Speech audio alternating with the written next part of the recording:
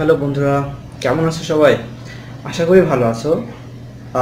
দেখো, আজ আমি তোমাদের দেখাবো উচ্চতর গণিতের তেরো অধ্যায়ের বারো নম্বর অঙ্কটি।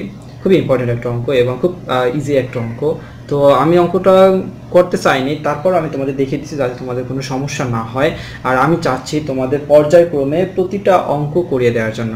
অর্থাৎ ধাপে ধাপে প্রতিটা অঙ্কের অ্যান্সার যেন তোমরা বাসার গাইডলাইন বা বাসার টিচারের মতো যেন তোমরা এখান থেকে শিখতে পারো। আমি সেটা তোমাদের কাছে মানে পৌঁছে দেওয়ার মতো চেষ্টা করতেছি। আশা করি তোমরা সেটা ভালো মতোই নিবে এবং তোমরা একটু কেয়ারফুলি অঙ্কগুলো করবে। তাহলে আমার মনে হয় না যেন তোমাদের বাসার টিচার প্রয়োজন আছে। যদি তোমরা একটু ভিডিওগুলো ভালো মতো দেখো এবং দেখে দেখে করো, একবার দেখে করো, দুইবার না দেখে করো, এভাবে যদি করতে থাকো, তাহলে বাসার টিচারের চেয়ে তুমি কম কিছু শিখতে পারবে না। আশা করি তুমি বাসার টিচারের থেকে ভালো কিছুই শিখতে পারবে যদি তুমি ভিডিওটা পরিপূর্ণ রূপে দেখো।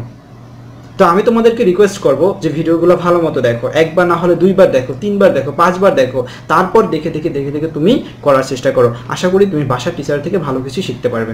তো দেখো, বাসার টিচারে তোমাকে এক ঘণ্টা সময় নিয়ে আসে। আর আমি এখানে এক ঘণ্টা সময় দিচ্ছি না। তোমাদের জন্য প্রতিদিন ভিডিও আপলোড করছি। প্রতিদিন ভিডিও আপলোড করতেছি। তোমরা এই ভিডিওগুলা প্রতিদিন দেখতে পারো। অর্থাৎ এক ঘণ্টা, দুই ঘণ্টা তোমার যতক্ষণ দরকার, তুমি ততক্ষণ দেখে দেখে তোমার যত খুশি তুমি অঙ্কগুলো করে ফেলতে পারো। তাহলে তোমার সময়টাও বাঁচলো, টাকাটাও বাঁচলো এভরিথিং ইজ ফেয়ার অর্থাৎ তোমার সব কিছুই বাঁচলো, তোমার সবই ভালো হলো। অর্থাৎ তোমার তুমি শিখতেও পারলা ভালো।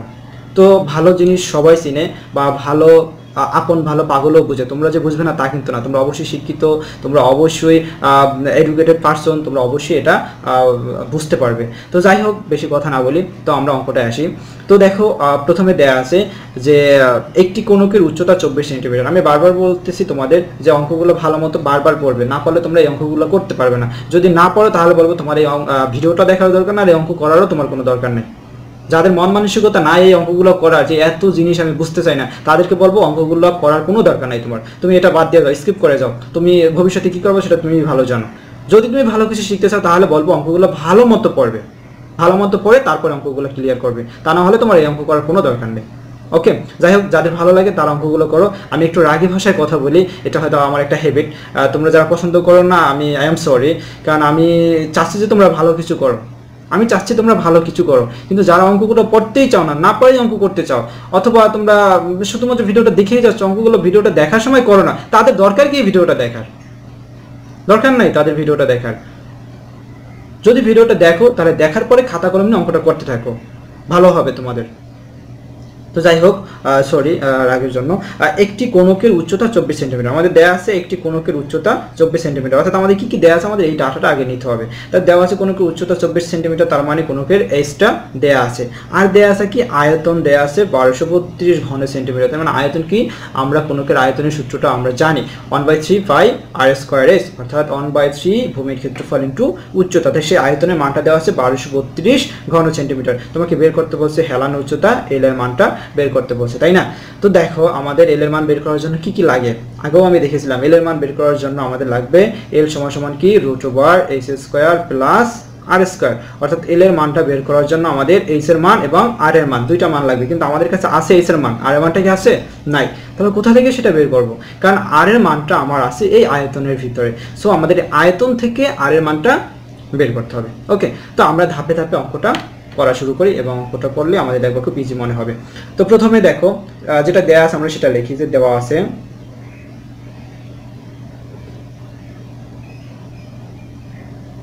কি দেওয়া আছে দেখো? আহ, কোণকের উচ্চতা।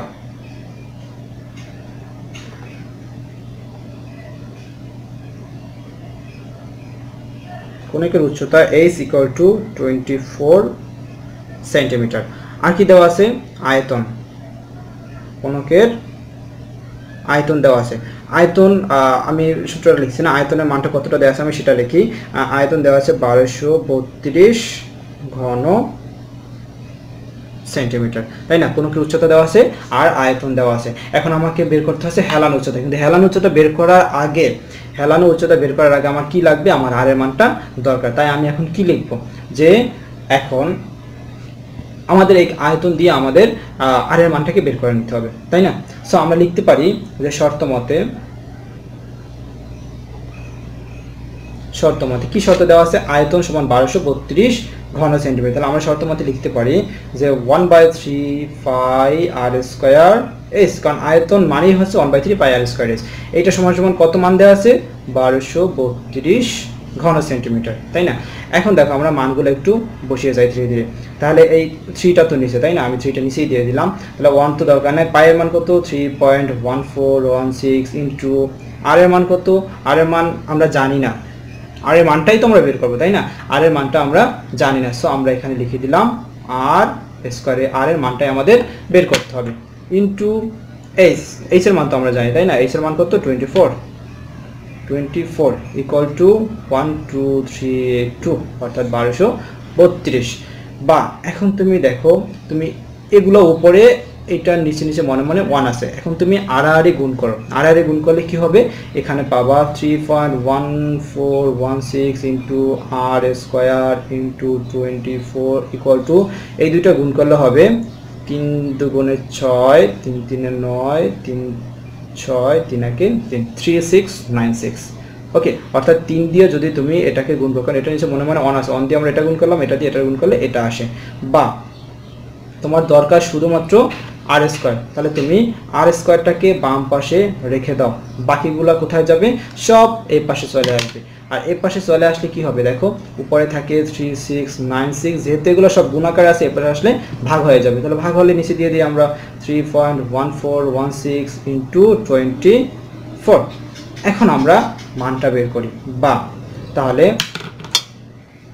দেখো আর স্কোয়ার ইকুয়াল টু কি আসে? আমরা আর এর মানটা বের করব, তাই না? তাহলে আমরা টোটাল একসাথে অঙ্কটা করে ফেলি যে আর স্কোয়ারের মানটা কত আসে? অর্থাৎ three six nine six divided by three point one four one six into twenty four এইটা যদি আমি একসাথে ক্যালকুলেটার করি, তাহলে কত আসে? তোমরা ক্যালকুলেটারের ব্যবহার অবশ্যই জানো, তা আমি এটা দেখাচ্ছি না। তো আমি রেজাল্টটা লিখতেছি, দেখি আমি একটু পরে দেখি কত আসে।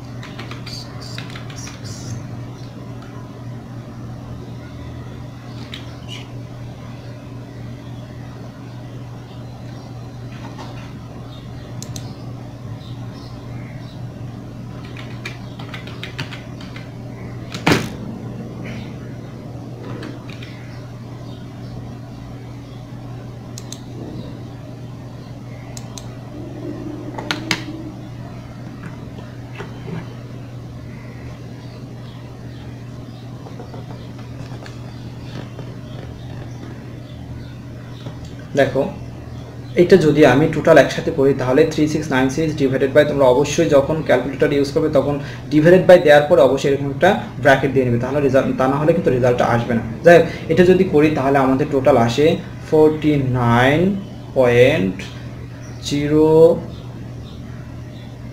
one হ্যাঁ forty nine point zero one forty nine point zero one nine আসে আচ্ছা আমি জিরো ওয়ানে দিলাম forty nine point zero one যাই হোক, তাহলে আর এর মানটা কত আসে? আর স্কোয়ারের মান আসে forty nine point zero one এখন এটাকে যদি তুমি বর্গ করো, তাহলে কি আসবে? খুব সিম্পল আর সমান সমান কি আসবে? Forty nine point zero one তার মানে কি? অতএব আর ইকুয়াল টু কত আসবে? Seven point zero zero one centimetre অর্থাৎ আর এর মানটা আমরা পেয়ে গেলাম seven point zero zero one centimetre আমাদের বের করতে হবে হেলানো উচ্চতা। এখন আমাদের হেলানো উচ্চতাটা খুব সহজ হয়ে যাবে বের করা। সো আমরা তাহলে এখন হেলানো উচ্চতাটা বের করি। তাহলে দেখো অতএব হেলানো উচ্চতা। হেলানো উচ্চতা l equal to root over s square plus r square তাই না? তাহলে এখন মানটা বসাই আমরা।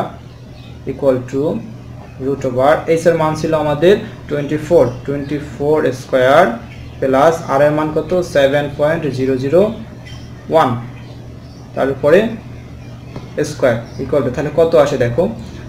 এটা তো আমরা জানি উনপঞ্চাশ আসে চব্বিশ স্কোয়ার আসে।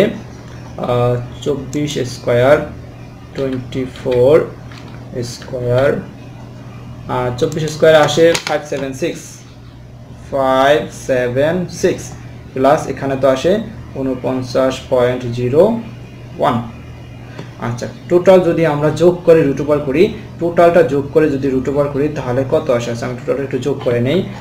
Plus forty nine point zero one টোটালটা যোগ করলে আসে six two five six two five point zero one অর্থাৎ ছয়শো পঁচিশ দশমিক জিরো ওয়ান। টোটালটা যদি আমি বর্গমূল করি, তাহলে আমাদের টোটাল রেজাল্ট কত আসে? দেখো। টোটাল রেজাল্ট আসে টোয়েন্টি ফাইভ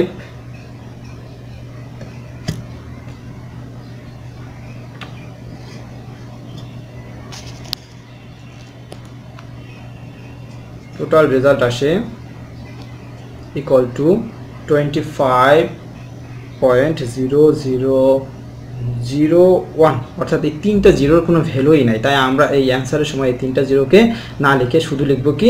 পঁচিশ সেন্টিমিটার অ্যান্সার অর্থাৎ তোমরা পঁচিশ সেন্টিমিটার অ্যান্সার লিখে দিবা, ও সামনে প্রায় লিখে দিবা, পঁচিশ সেন্টিমিটার প্রায়। এটা হচ্ছে তোমাদের এই কোনকের হেলানো উচ্চতার অ্যান্সারটা তো দেখো, এখানে পঁচিশ দশমিক তিনটা জিরো ওয়ান তিনটা জিরোর কী ভ্যালু আছে? তিনটা জিরোর পর ওয়ানের কোনো ভ্যালু আছে? তাই আমরা রেজাল্টে শুধু পঁচিশ সেন্টিমিটার লিখে দেবে। তিনটা, আর তিনটা জিরো লিখলেও তোমার ভুল হবে না। লিখলে তোমার ভুল হবে না, তোমার খুশি তুমি লিখতে পারো।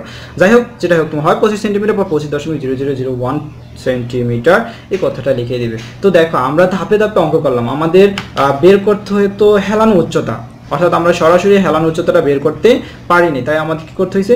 আমাদের প্রথমে এই আর এর কারণ, হেলান উচ্চতা বের করতে হলে আমাদের আর এর মান দরকার। তো আর এর মানটা আমরা কোথায় পাবো? এখান থেকে আমরা আর এর মানটা বের করে নিলাম। যখন আমরা আর এর মান পেলাম দশ সেন্টিমিটার, দেখো আর এর মান সরি দশ না seven point zero zero one সেখান থেকে আমরা ধীরে ধীরে x square plus r square হেলান উচ্চতার সূত্র দিয়ে আমরা অঙ্কটা করে ফেলাম ওকে তো যাই হোক, ভালো থাকো, আর অঙ্কগুলো ঠিকমতো করে ফেলো। তাহলে আর তোমাদের কোনো সমস্যা হবে না। আর যদি কোনো সমস্যা হয়, আমাকে কমেন্টস করে জানাবে, আমি তোমাদের কমেন্টসের অ্যান্সার দেবো এবং তোমাদের সমস্যা সমাধান করার চেষ্টা করব। তো সবাই ভালো থাকো, খোদা হাফিজ, দেখা হবে পরবর্তী ভিডিওতে আবার।